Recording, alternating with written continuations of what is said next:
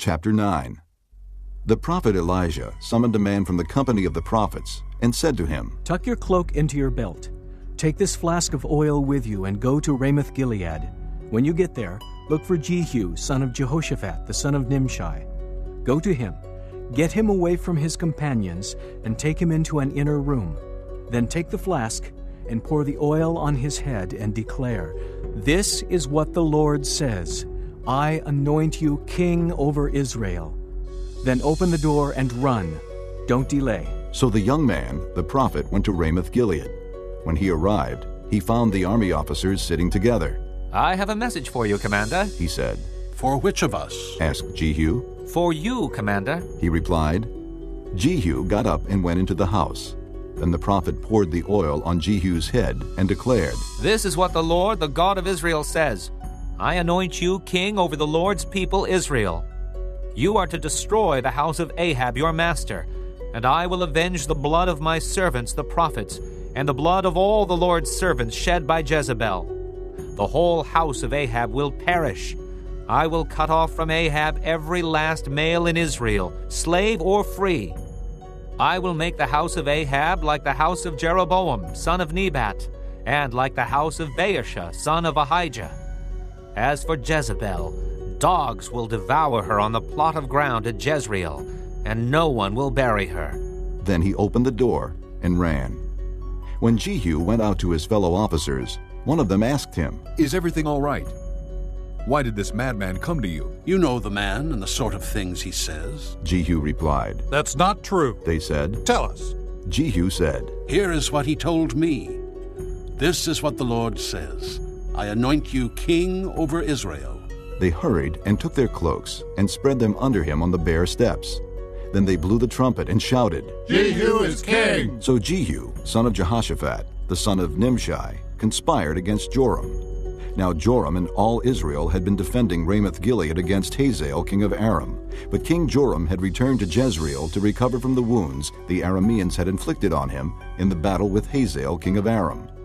Jehu said, If this is the way you feel, don't let anyone slip out of the city to go and tell the news in Jezreel. Then he got into his chariot and rode to Jezreel, because Joram was resting there, and Ahaziah, king of Judah, had gone down to see him. When the lookout standing on the tower in Jezreel saw Jehu's troops approaching, he called out. I see some troops coming. Get a horseman. Joram ordered. Send him to meet them and ask, Do you come in peace? The horseman rode off to meet Jehu and said, This is what the king says. Do you come in peace? What do you have to do with peace? Jehu replied. Fall in behind me. The lookout reported. The messenger has reached them, but he isn't coming back. So the king sent out a second horseman.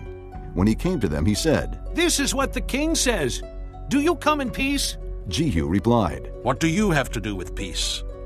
Fall in behind me. The lookout reported. He has reached them, but he isn't coming back either.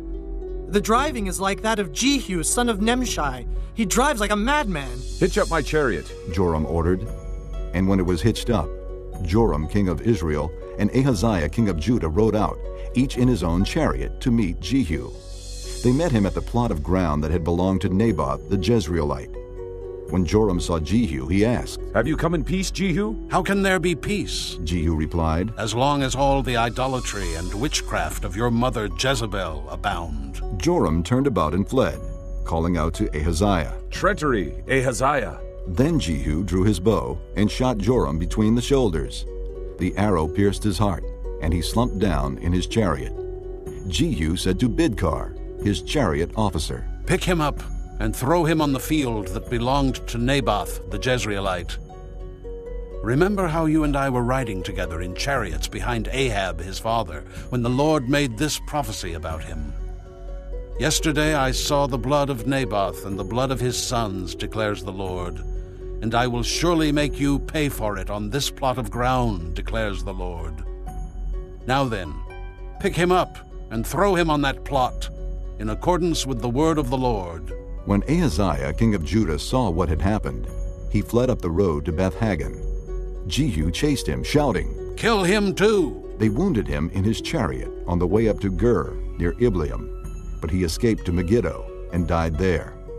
His servants took him by chariot to Jerusalem and buried him with his fathers in his tomb in the city of David. In the eleventh year of Joram son of Ahab, Ahaziah had become king of Judah. Then Jehu went to Jezreel.